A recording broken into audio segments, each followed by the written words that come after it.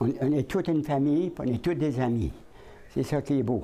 Léo Savoie a 88 ans. Il se sent chez lui, à la Villa Néguac. Je ne veux pas m'en aller. C'était une surprise pour moi. Quoi ce qui est arrivé hier. Donc, vous pouvez rentrer. Voici ma chambre, que je demeure dedans, que je suis très contente d'y être. Sa chambre regorge de ses trésors de vie, les photos de sa famille surtout, dont il nous parle fièrement. Je sais pas pourquoi est-ce qu'on peut pas rester ici. On n'a pas... Il n'y a pas de raison. La raison n'est pas très claire.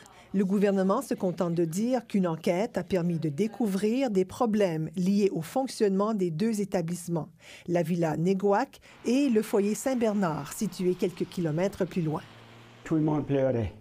Les madames, ça pleurait, les hommes.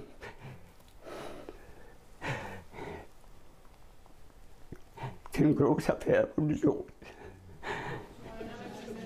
Ulysse Como est secoué, lui aussi, par tout ce qui se passe. Il ne sait pas par où commencer ses recherches de nouveaux logements, même s'il a reçu une liste hier avec la lettre du gouvernement. C'est son activité au plus tard le 17 février 2023. Monsieur Como n'aime pas les déménagements. Comment est-ce qu'ils vont s'y prendre pour nous aider à déménager? À l'entrée de la Villa Négoac, les employés sont réunis, encore stupéfaites de la tournure des événements. Elles perdront leur emploi, certes, mais s'inquiètent surtout pour l'avenir de leurs résidents. C'est difficile pour eux, surtout dans, au plein milieu de l'hiver. Ça se fait pas de sortir du monde en plein milieu de l'hiver. On va essayer de trouver des places, mais c'est pas toutes les familles qui peuvent les reprendre. C'est pas tous les foyers qui ont des places là dans un mois aussi. Là. Madame Isabelle a 98 ans. Sa nièce vient la voir quelques fois par semaine. Ce ne sera plus possible si elle déménage. Il n'y a aucun foyer à moins d'une trentaine de minutes de route. Moi, je pense pas qu'elle pourra passer à travers.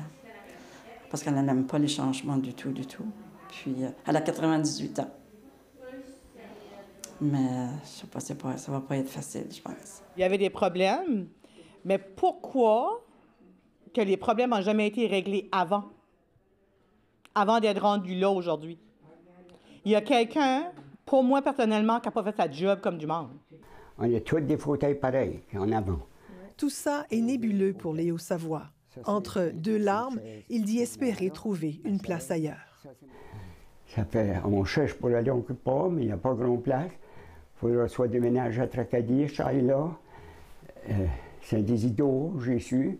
Mais il y a une madame qui va voir des appartements à Chaïla, là, pour deux. On comme aller deux à la coup. Je sais pas jusqu'à tout le monde va aller, on est 26. Son plus grand souhait est que ce ne soit qu'un mauvais rêve et que tout reviendra à la normale sous peu. Ici Michel Brito, Radio-Canada, Néguac.